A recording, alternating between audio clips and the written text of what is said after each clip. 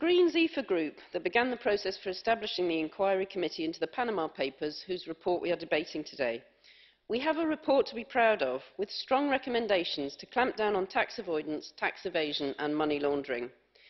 Our recommendations include requiring an economic justification before offshore structures can be established and ensuring that EU funds can never find their way to tax havens. We hope that our friends in other groups will support this strong action against tax cheating to respond to the public outcry against continuing scandals. Any weakening of this report's proposals represents contempt for their views.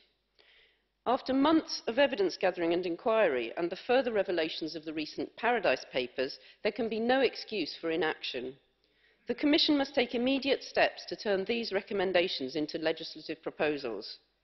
We also look to the Council to adopt the legislative proposals made in the aftermath of the Panama Papers, especially greater transparency for the activities of large companies and the revision of the anti-money laundering rules.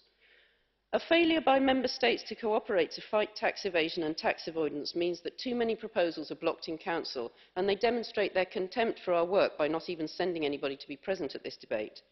To break this blockage, we call on Commissioner Moscovici to present a legislative tax proposal under co-decision during 2018.